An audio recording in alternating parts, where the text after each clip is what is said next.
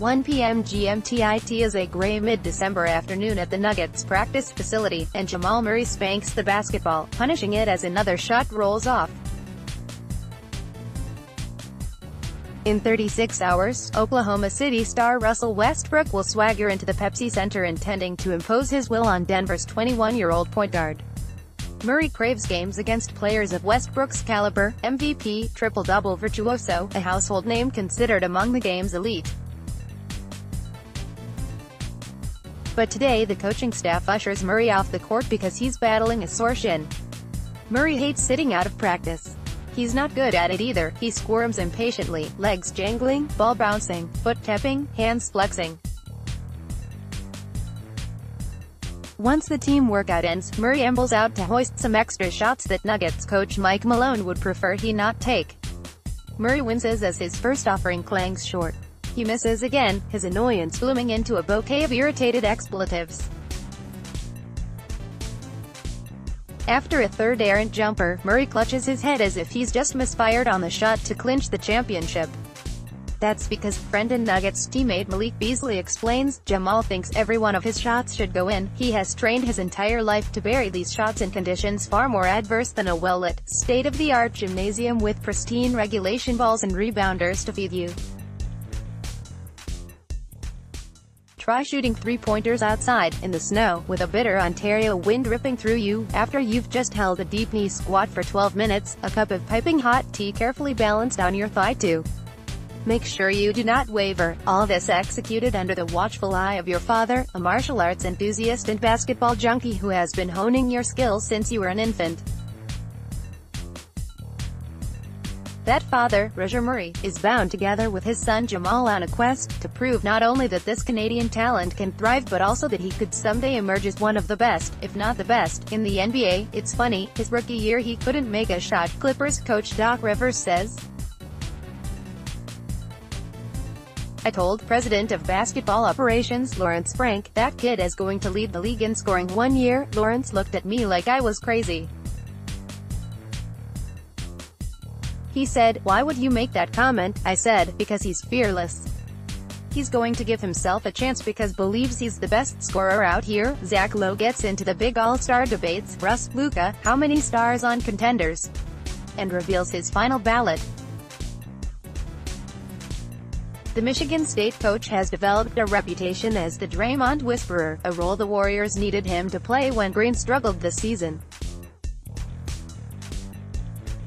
At the moment Murray, who averages 18.8 points per game and 4.9 assists per game for a young Denver team that is jockeying with Golden State for supremacy in the Western Conference, isn't even the best player on his team. That's Nikola Jokic, an amiable 7-foot Serbian who is, in some ways, the antithesis of Murray. Jokic's physique was so squishy during the 2014 NBA draft he slipped all the way to the 41st pick, yet his natural talent quickly emerged. While Murray actively hunts open looks, Jokic, a gifted playmaker who shoots 51% from the floor, remains a reluctant scorer. Jamal wants to fight me when I don't shoot the ball, Jokic says, grinning. That's because Murray never stops shooting, often surfacing at the practice facility multiple times a day. One night he drilled pull-ups late into the midnight hour, then watched film in the player's lounge. Nuggets staff members found him curled up, asleep on the couch the following morning. Eight weeks ago, Murray toiled in the gym until after 2 o'clock one morning, trying to perfect a skill, the three, that's considered exceptional when you connect 45% of the time. Afterwards, Murray was so gassed, he flopped into bed and slept through his alarm. He was late for the team shoot-around before the November 17 game against Atlanta and sat while Monte Morris occupied his starting spot, like I told Jamal, A for effort, but come on, Denver president of basketball operations Tim Connolly says. We talk with Jamal about getting out of the gym, taking care of his body, the grind of 82 games. More is not always better, Murray disagrees. His kung fu training taught him that a disciplined mind can take a person beyond what he believes to be his physical limits. He concedes the team urges him to cut down on his midnight sojourns but responds, I don't care. They can't stop me. Denver's young core is constructed mostly from a bevy of Connolly-savvy late-round picks and undrafted gems, with Murray, the no. 7 overall pick in the 2016 draft, the exception. Murray says he feels a responsibility to his franchise, and to his father, whose dreams are in lockstep with his own. It's not enough for the Nuggets to be a plucky Western Conference upstart, or for the kid to be willing to stand up to anyone, as evidenced in Murray's late-game tussle with Westbrook in a December win after the Thunder veteran tried to bully him off the jump ball circle. Murray wants more. Every shot he takes, no matter how difficult, is one he and his father have crafted and practiced and refined. Fatigue is one thing, Murray explains. Injuries are another. But if you are just tired because you just practiced, well, I'm not having that. The NBA, he insists, is a respite from the program he and Roger have been fastidiously following for more than a decade. After everything I've done to get here, Murray says, this is easy. One is a 23-year-old center. The other is a 21-year-old guard. Together, Nikola Jokic and Jamal Murray form perhaps the most dynamic young duo in basketball. Bart Young, NBAE, Getty Images When Jamal Murray was a baby, his father steered his stroller to the sidelines so he could absorb the sights and sounds of the game as Roger played pickup on the public courts of Kitchener, Ontario. As Jamal grew older, Roger would set up a portable plastic Fisher-Price hoop so he could drain his own game winners during his father's games.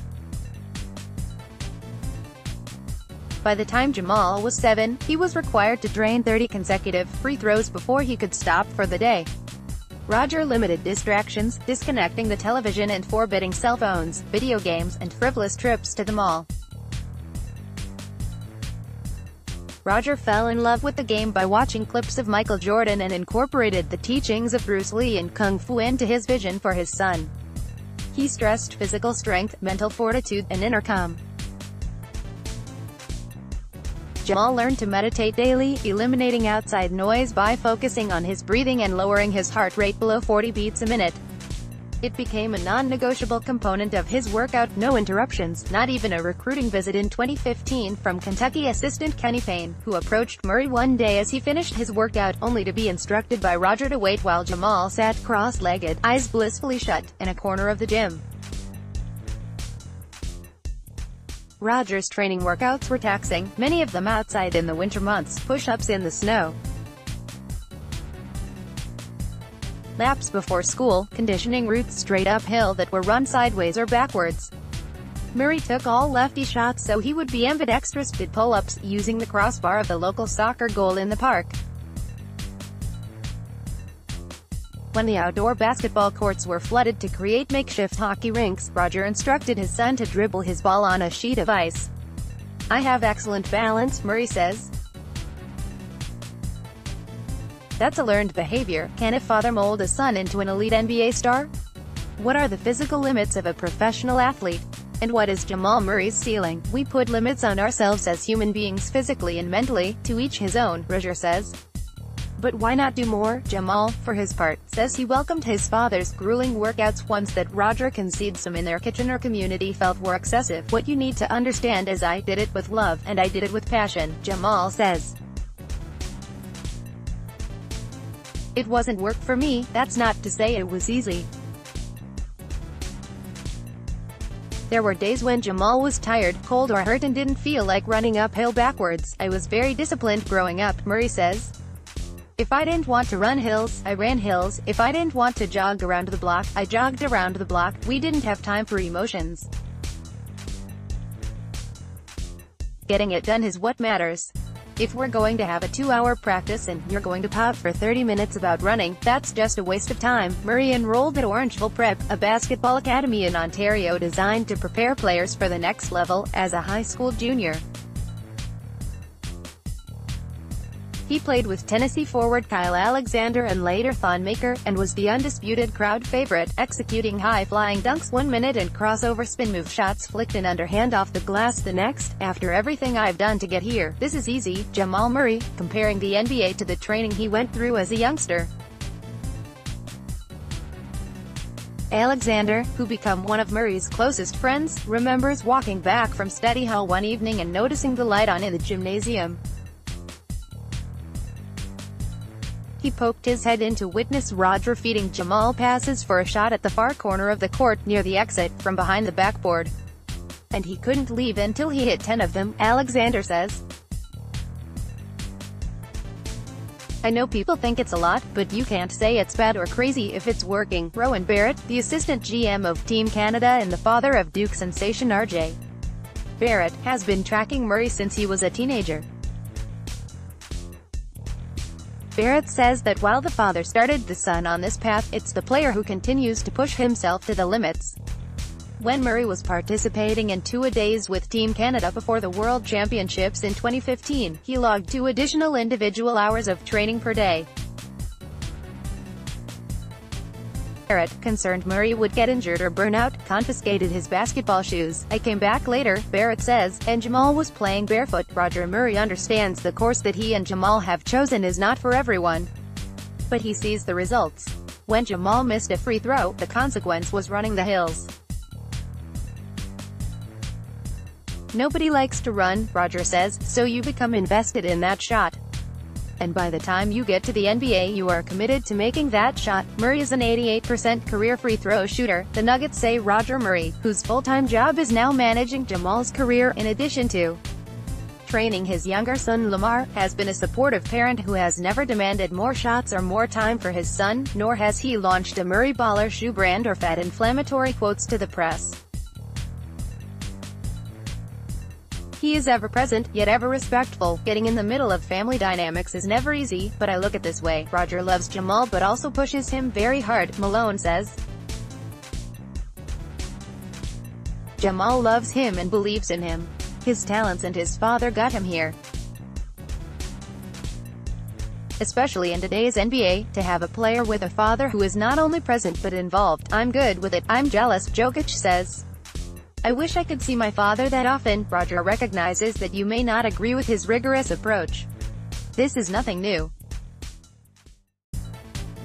Scrutiny has long dogged their wholly committed, all-encompassing alliance. When Jamal was coming up, everyone thought we were crazy, Roger says. Everyone was doubting us. I never doubted myself. I don't listen to people. I can't listen to you. I have thick skin. The same is true of his son. He won't hesitate to tangle with Westbrook, land in the crosshairs of Kyrie Irving or confront Lonzo Ball. Jamal insists he plays better when he's challenged, and nobody has done that more effectively than his father. My dad knows me better than anybody else, Murray says. He probably knows me better than me. At 18, Murray led Team Canada to an upset semi-final victory over Team USA at the 2015 Pan Am Games. In the victory, Murray scored 22 points in the final frame in overtime, including back-to-back -back threes in OT to cement the win for Canada. Christopher Morris, Corbis, Getty Images The moment Jamal Murray knew that all the training was worth it came in 2014, when he was 17 years old and played in the Nike Hoop Summit alongside Karl Anthony Towns. Murray submitted a modest line of 10 points, 5 rebounds and 5 assists.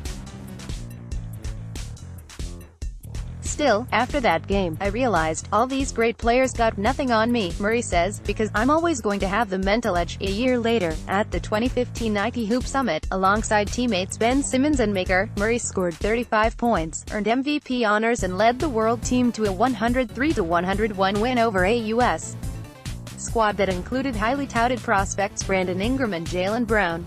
There were bigger names, but Jamal was the best guy out there that day, Maker says. Murray's true coming-out party was later that summer, when Team Canada upset the U.S. in the semifinals of the Pan Am Games. The U.S. team held an 80-74 lead heading into the final frame when Canada coach Jay Triano called Murray's number. Jamal poured in 22 points in the final quarter and overtime, sinking a deep three to tie the game in regulation, then hitting back-to-back -back threes to clinch the win. We were in control of that game, until this kid bounded off the bench, shooting threes, and making shots out of his behind, says Warriors assistant Mike Brown, who was part of the U.S. coaching staff. I knew he was good, but I didn't think he was that good. He dominated the game, says Buck starter Malcolm Brogdon, who was on the U.S. roster. I remember thinking, he has a chance to be a pro. There were many illuminating moments from his scoring explosion, but the most memorable was when big man Anthony Randolph pinned Murray in the corner after he picked up his dribble. Murray tried a pump fake but Randolph didn't bite, so Jamal reverse pivots out of the lane and shoots over a 6'11 guy for a 3, Barrett says. It's Canada's first medal at the Pan Am Games ever, in over 70 years, and it was because of an 18-year-old kid. In Jamal Murray's lone season at Kentucky, coach John Calipari urged his young star to make the right play more, to take the easier shot. Murray's response. It went in, didn't it? Stephen Branscombe, USA Today Sports at every stop along the way, when Jamal Murray sinks an improbable shot, he feels compelled to explain that he's practiced it hundreds of times before. When he got to Kentucky, coach John Calipari wasn't sure he was buying it. I love guys who believe in themselves, Calipari says. Jamal would make a play falling down, switching hands at the last second to his right, and I'm looking at him like, what are you doing? He'd look right back at me and say, I can make that shot. I'd say, are you nuts? And he'd answer, it went in, didn't it? In his lone season at Kentucky, Murray averaged 20 points and 5.2 rebounds, shot 95% from the free throw line and 41% from three. He also regularly infuriated Calipari by ratcheting up the basketball degree of difficulty. Coach Cal yelled at me a lot, Murray says. It was Jamal, why are you trying to thread the needle? Make a simple basketball play, Calipari and Murray's sparring lives on via text. When Murray scores 25 points, Calipari purposely sends a message shortchanging the accomplishment. When Calipari types, nice 20-point game, he knows it will elicit an immediate competitive response. I had 25, coach, not 20. With one second left and the Nuggets leading by 8, Jamal Murray, who had already scored 48 points in this November game, launched a 31-footer, violating one of the NBA's oldest unwritten rules and drawing the ire of Kyrie Irving and the Celtics, Isaiah J. Downing, USA Today Sports There have been some heady moments for Jamal Murray in the NBA, there was the night he outdueled Damian Lillard last season in a big win over Portland. It was the time he stole an inbounds pass when his team was down 3 against the Bucks, drew a foul on it Trey and sunk all three free throws. And then there was last season's early December victory over the Lakers when he drilled a three over Kyle Kuzma to break a 101-101 tie, took a charge on ball and helped the Nuggets close the game on a 15-0 run. As the game clock wound down, Murray taunted ball by dribbling around him in the final seconds. When the teams played again three months later, another Denver win, Murray spewed insults at Ball, prompting Lakers coach Luke Walton to brand him disrespectful, and Ball to call his previous stunt a punk move. Someone should have knocked Jamal in the mouth after he did that, to Ball, Rivers says. I don't think he realized what he was doing. Some guys have intentions. I don't think that's the case with Jamal. He just gets carried away. It was nothing personal, Murray says. That's just how I grew up. I'm just going at you. How you take it is how you take it. If you want to retaliate, then retaliate. Calipari says you can trace Murray's actions back to a perceived lack of respect, both for his game and Canadian players in general. I think it's a little of, I want to show this guy and show the world that's its BS. That you think more of him than me, Calipari says. Jamal's got a little chip on his shoulder. Today, the incident with Ball has blown over. Walton says his team is past it. He calls Murray a talented young player, who is learning and growing through experience, and Irving, who lambasted Murray in November after he launched a three at the buzzer of a game Denver had well in hand, leading Kyrie to sling the ball into the stands, says there's no bad blood, that's over with, Irving says now. I enjoy Coach Malone saying, hey, Lakers fans and Celtics fans, take that L out of the door with you, you like that kind of swag. Jamal has that kind of swag, Murray's not afraid to go after it, and I respect that, Golden State forward Draymond Green says. That's half the battle in this league. Almost every night there's a good possibility you'll go up against a star. You respect and appreciate someone who says, I'm not afraid of you. I'm going at you. Jamal Murray couldn't wait to join the NBA and show everyone what he could do. Instead, the unthinkable occurred, he missed the first 17 shots of his career, an embarrassing and confounding stretch that dragged on for five games. Murray was flummoxed. He began aiming his shot, overthinking, passing up open looks. He turned to meditation to soothe his mind, but it wasn't helping. For a moment, Murray felt a hint of panic. What if this didn't work? What if all his father's efforts were for naught? I don't want to ever let him down, Murray says. If I miss a shot, it's like, oh, my dad is watching. If I miss an assignment, it's like, oh, my dad saw that, maybe no one else did, but I know he did. During those first three stressful weeks, Jamal continued to meditate but soon realized he was so fixated on the mechanical issues, such as creating a better arc for his shot, that he had forgotten the larger purpose of quieting his mind. I was focusing on all the wrong things, Murray says. My attention should have been on better energy, more confidence, being a leader, instead of, why isn't my shot going in? When Murray became mired in another shooting slump earlier this season, Malone pulled him aside and reminded him he's a strong passer, an effective rebounder and can impact game defensively.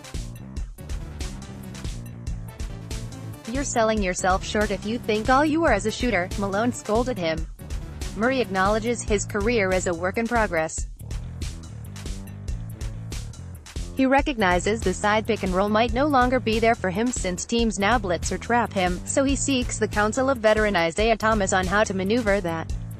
He remains a streaky shooter, but, as Jokic points out, he can go for 50 every night if things go his way. 48 points one night is great, but the next night can't be 6 or 8 points, Malone says. Jamal needs to be more consistent. I forget sometimes how young he is and how much we've thrown at him. While Roger Murray knows Jamal's basketball tendencies best, he's not an expert on the rigors of the NBA schedule, sleep habits, optimal nutrition, or mental health. Jamal's world is expanding, and the voices who influence him are multiplying.